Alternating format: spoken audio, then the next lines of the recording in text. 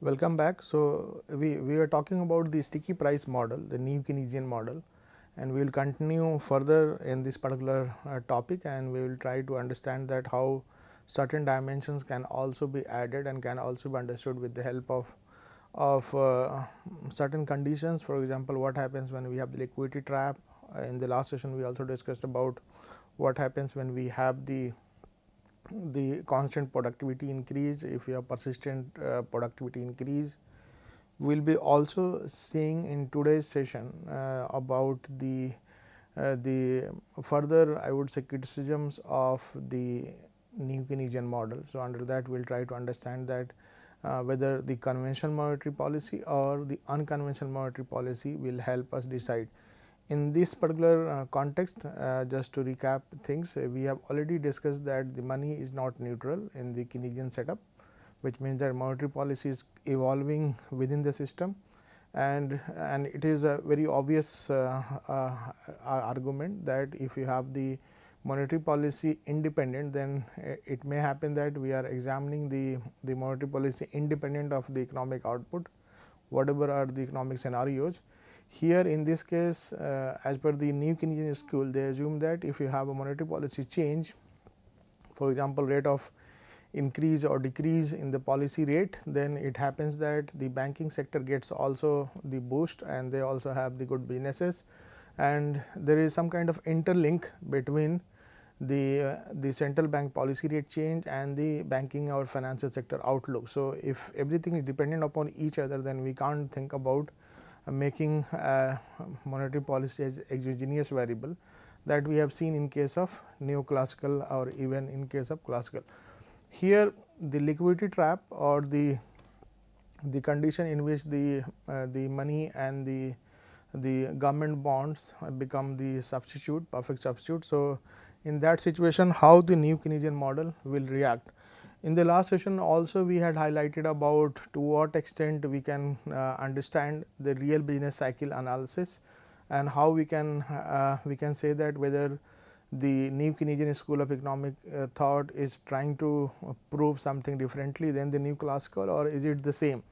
The idea behind this uh, this uh, session is that if we are having the sticky price situation right in the short run we are not assuming any price change then how the model looks like and in short run we also have certain dimensions about the the aggregate output change the natural rate of interest change. So, if you have those kind of, of changes happening then how we can understand or make the policy stand better in what context we can add the dimension.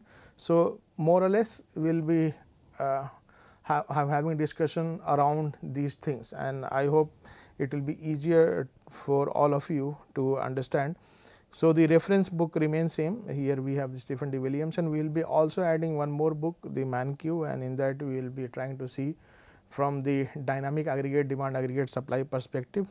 Otherwise, the major textbook remains same Stephen D. Williamson right. So, here we have the new Keynesian model with sticky prices, how money is not neutral. So, it remains same nothing much change.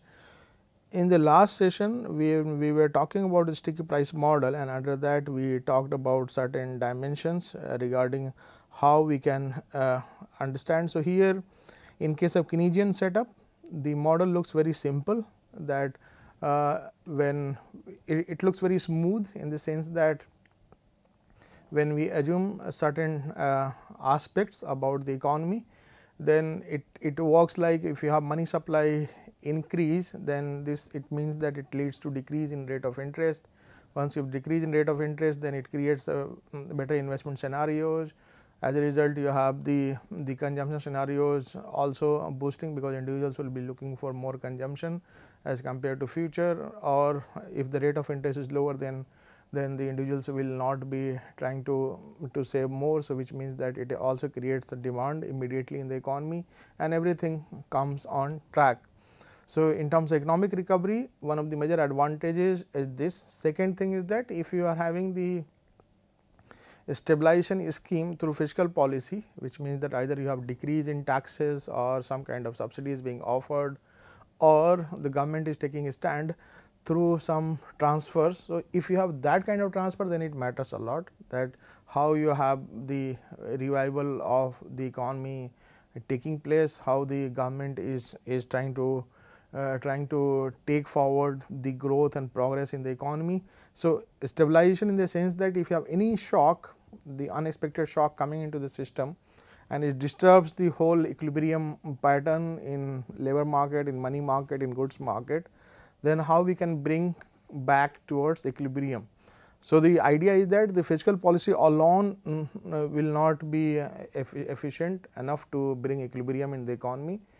You will have to combine with the monetary policy. So, if you are just relying on the government then it may happen that you will have the rate of interest increase the the price will also shoot up. So, if price is going to shoot up then of course, the central bank will also react uh, and then if you have the, the government expenditure only participating through the higher borrowing, then that will also create further trouble. So, that may be linked with the, the borrowing scenario that we had that previous period bond issued will have some, some carry forward for the future period. So, in that context it becomes important. Here the idea is that if you have no change in monetary policy which means that if government is not intervening anything. So, productivity shock creates uh, a very uh, good scenario. So, there will be a rightward shift in aggregate demand. This will also create a scenario where you will be at the the uh, aggregate supply shifting rightward.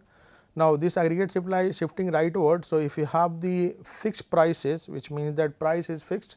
So, money supply here you have M1S, M1 and here you have M2. So, this shift that you have. So, the output gap that we have created without taking any measure. So, your output is just moving from y 1 which is the initial equilibrium point m 1 and p 1 it is moving to y 3 without any interference in the in the policy. But if government if the central bank takes the decision if the government takes the, the, the decision about the increase in money supply then this this brings the output uh, so rate of interest will be low, lower output will increase so, the output gap without any policy stand is y 3 right. So, so y 3 minus y 2 is the output gap and this can be only filled when you have the monetary policy stand taking place. So, more or less if you think from the new Keynesian and new classical perspective it remains same not much change the adjustment uh, scenarios are more or less same and that is why in the textbook when you read then you find that the real business cycle understanding and even the new Keynesian school understanding are having the similar kind of outcomes and that is why there is not so much debate and discussion on this particular topic. So, real business cycle considered as the the new classical idea and it remains in the macroeconomics literature and it is well accepted uh, accepted postulate that this uh, Supply side uh, scenarios also matter, labor market equilibrium does matter. If you have productivity increase, then then this will create a better scenarios for the labor market. As a result, the wage rate will shoot up. There will be demand for labor. The investment, if you have any policy stand coming from the central bank, this will create uh, the scenarios for investment. So, the the shock to the system when you have persistent uh, productivity increase then this will have positive impact. Such type of scenarios we have already discussed in case of chapter 4 when we are talking about how we can uh, think about uh, certain dimensions about uh, labor and leisure when we have the productivity increasing. That shows that it is more or less in favor of the uh, the um, labor uh, uh, standard of living of the labor enhances and this brings more income and further it will add value to the aggregate output. So, in this particular setup what comes out that so cases produce exactly the same. So, in the same way that we uh, discussed in the previous previous session and the sticky prices which is very strong argument and this is also one of the criticisms of the the Keynesian school of economic thought that uh, when we talk about sticky prices then sticky prices are not sticky in the real sense because uh, many times we find that due, to technological advancement uh, or I would say better technology availability has has uh, decreased the chances of not changing the price uh, quickly. So, you have every time. So, the menu cost example that I think I discussed also in the last session that in case of menu cost example when we are assuming that if a price change then this the, then the restaurant owner may not be liking to increase because he or she is facing uh, some kind of uncertainty that whether the uh, the cost involved in in printing of the new menu when they will be able to recover. So, all those dimensions are well accepted, but when we are talking about the technological change, the market acceptance, then most of the the restaurant or food chains they often go for uh, a regular change in their menus. So, they have to update every time not with just pricing, but also with the items they sell.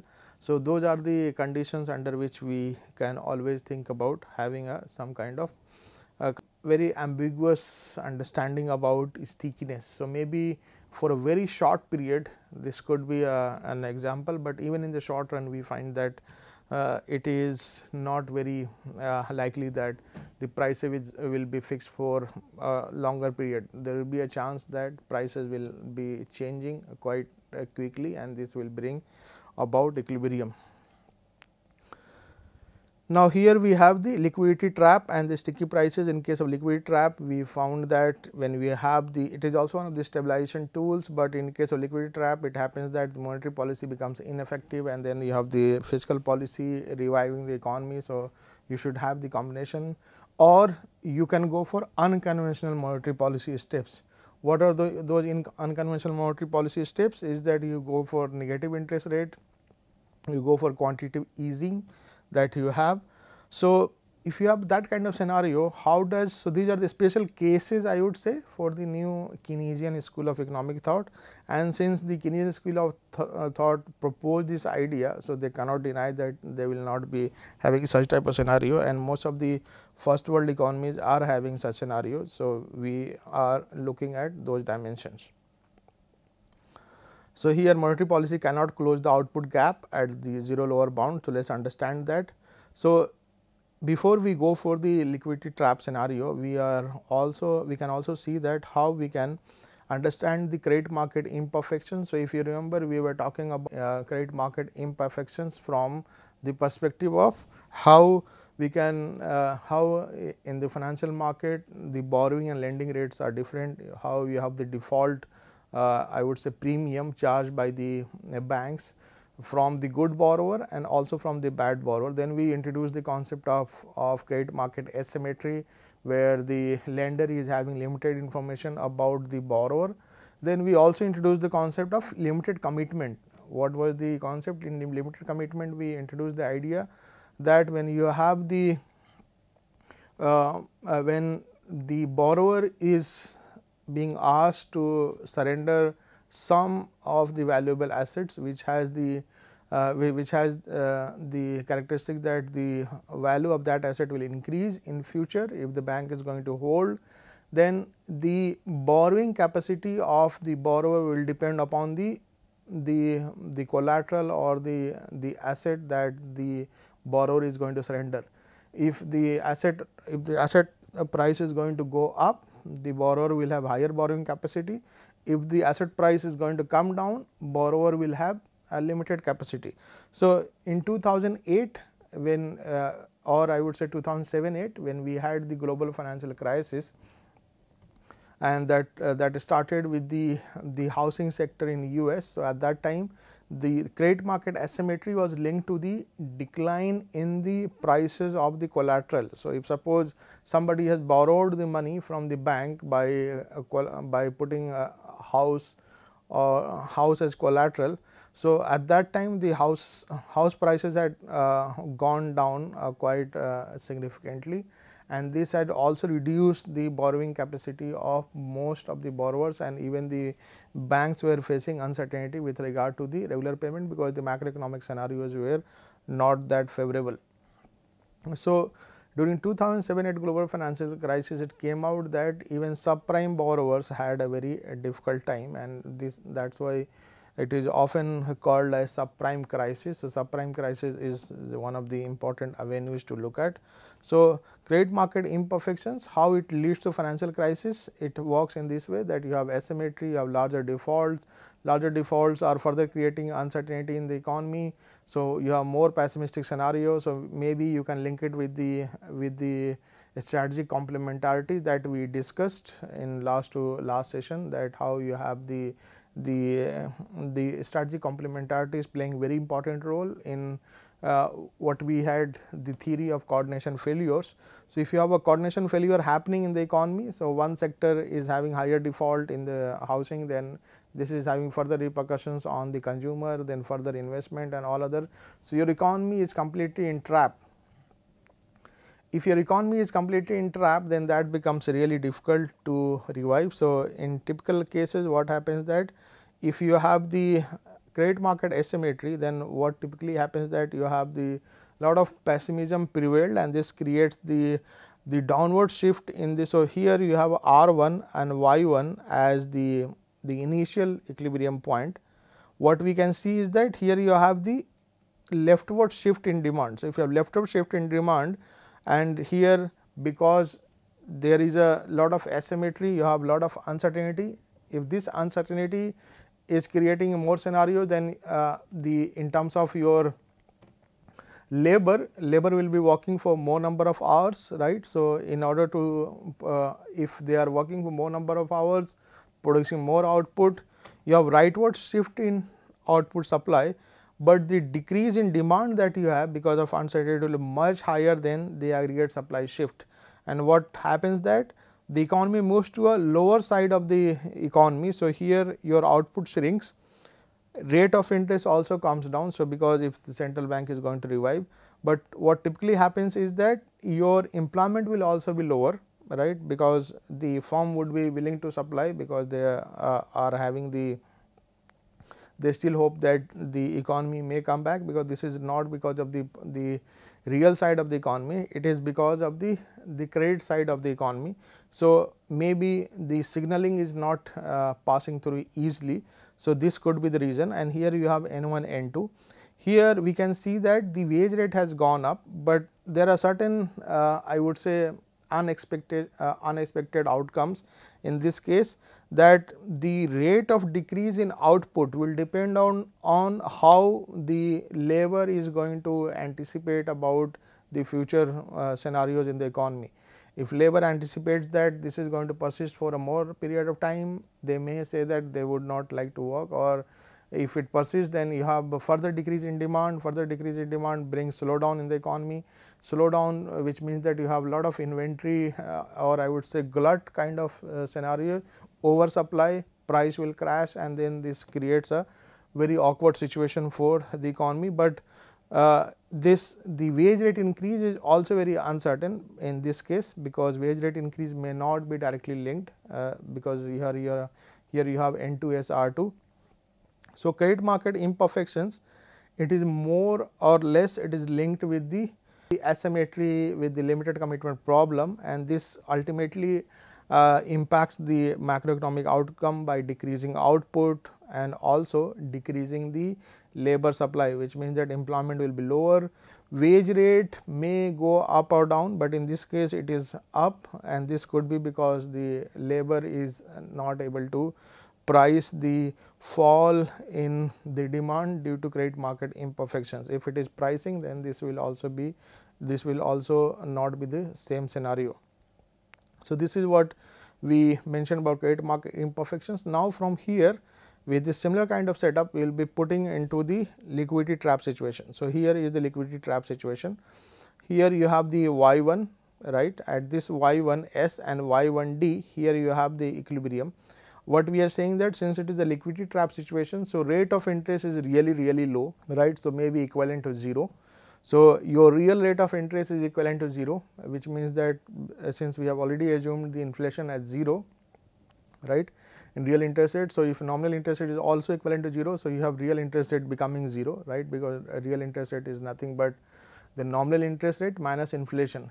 We have already assumed in monetary intertemporal model that rate of inflation is going to be 0. So, if I am putting a condition that the nominal interest rate is also 0, then it means that real interest rate is going to be 0. So, here you have y 1 scenario right. If you have the uh, and this y 1 scenario since we know that at the liquidity trap situation we are having a, a scenario in which we are having the fixed prices right. At this uh, point where you have the aggregate demand and aggregate supply moving up and down. So, here you have aggregate demand aggregate supply. Uh, uh, so, this is the equilibrium point at this point the real rate of interest is 0 output is y 1. Now, here we are saying that if the central bank since the monetary policy is ineffective. So, even though if the central bank is thinking about uh, doing something it will not have any impact rather it will create output gap. So, economy may move to y 2 right and this is primarily linked to the ineffectiveness of the monetary policy less of demand of the money and since money supply and the bonds both become substitute at the liquidity trap. So, people are not so much bothered about the purchasing power of the money. If the central bank wants to correct this output gap uh, y 2 minus y 1 then this can be linked uh, this can be done either by two ways one is that the central bank uh, can pursue the negative interest rate or the unconventional monetary policy for example negative interest rate I mentioned uh, in most of the uh, first world countries this the government has gone for uh, such type of policies. Second aspect is that they can go by quantitative easing. So, what is the quantitative easing that you have? In case of quantitative easing the normal scenario is that in the normal set of open market operations when you go for uh, buying and selling of government assets, government also purchases the long term assets which means that the stressed asset uh, it can be also the stressed asset. So, stressed asset means that you are holding a long term bond, but you are not sure that whether you will be able to uh, get uh, or you whether this bond will be able to mature or not. So, central bank purchases that also. So, which means that you have excess supply of money going into the market. Typically, the case that if you are holding the bond, if you are selling to the central bank, central bank will keep the bond, pay you the money that you have, it, which means that you are going to get extra money, extra money will be further pumped in the economy. So, in the unconventional monetary policy setup, either you go for the zero lower bound that we have or you go for negative interest rate. Negative interest rate scenario may create uh, a possibility here that people will be discouraged to save money and banks and financial institutions will not be allowed and they will be rather charging right. So, that kind of situation may help reviving the economy and reducing the output gap between y 2 and y 1. But in normal scenarios until unless central bank or the government introduces the fiscal policy measures then only the liquidity trap, trap can be uh, broken and the economy may move out of liquidity trap. In most of the situations we do not find that kind of, uh, of understanding and we often find that when we have liquidity trap situation then the the especially after 2007 8 global financial crisis the the conventional and unconventional monetary policies have played very important role. So, this is how it looks like that this is how we operate. So, 0 need not be lower bound in the nominal interest rate. So, in case of US economy what had happened that during 2007 8 global financial crisis when there were a lot of uncertainty central banks had gone for reducing and Fed Reserve had gone for reducing the rate of interest and it was almost like 0.25 percent.